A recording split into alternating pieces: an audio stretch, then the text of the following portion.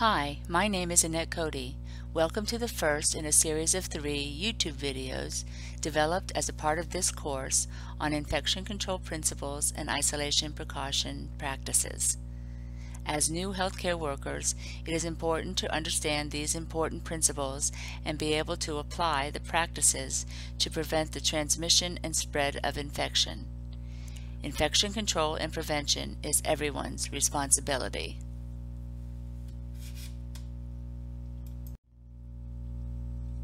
The objectives for this first part of the course will be to define infection control, identify the components of an infection control program, and identify your role as a healthcare professional in preventing nosocomial or healthcare associated infection.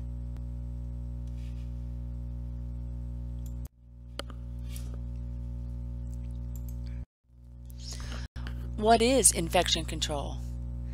Infection control is the discipline concerned with preventing nosocomial or healthcare associated infection. It is an essential part of the infrastructure of healthcare.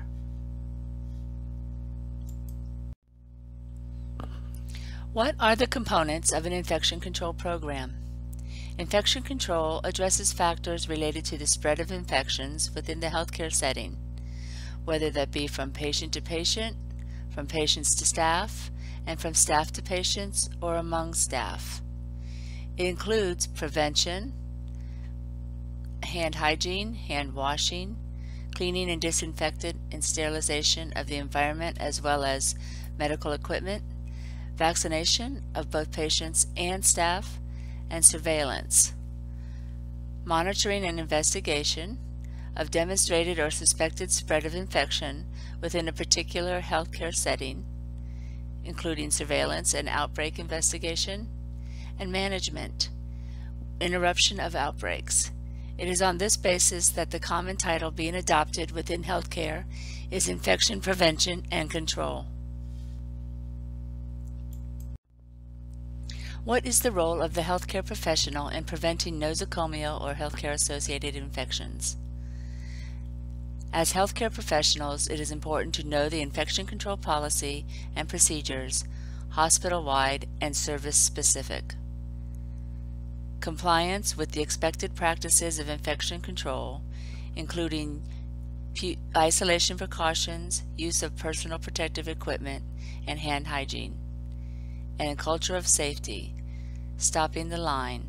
If you see something or hear something that isn't right, stop the line talk about it, report it if necessary, and take the precautions required.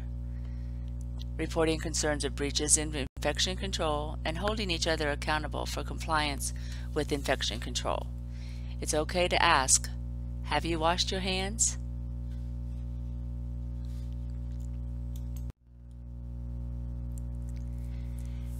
There are many regulatory bodies and additional resources available to learn more about infection control principles and isolation precaution practices.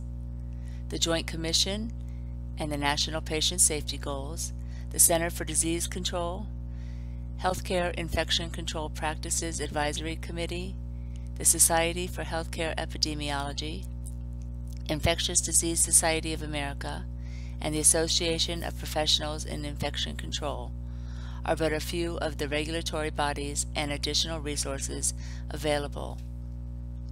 It is your responsibility as healthcare workers to become familiar with some of these regulatory bodies and utilize the additional resources available for you. Throughout this course, in the other two sections, we will be learning about some of the precautions and practices in infection control.